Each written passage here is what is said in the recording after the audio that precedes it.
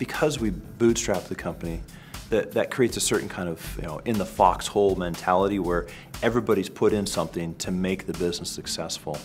It's not just me trying to, you know, be concerned about the culture of the company, it's everybody. And so each person we hire goes through that same kind of process of saying, we want to have you part of us, but we want you to protect this culture and to make sure that the same kind of thing that's made us successful takes us on to the next level. I'm just so appreciative of the people that put their time in to help grow the business and, and put their hearts in, right? You can always pay somebody to work, but it's, it's really hard to get their heart. And I'm lucky enough to be with people that have, have given their hearts into the company.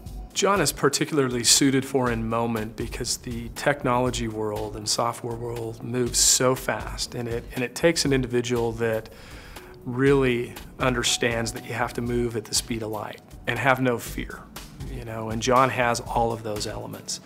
He truly cares about each individual in our company, um, how they're doing, how their health is, their family, um, what their desires are professionally and where they want to go. And he doesn't waver from that. It's not about him. And uh, he doesn't take the credit, he gives it back to the team, and I admire that most. Uh, we have a lot of employees who go away and come back.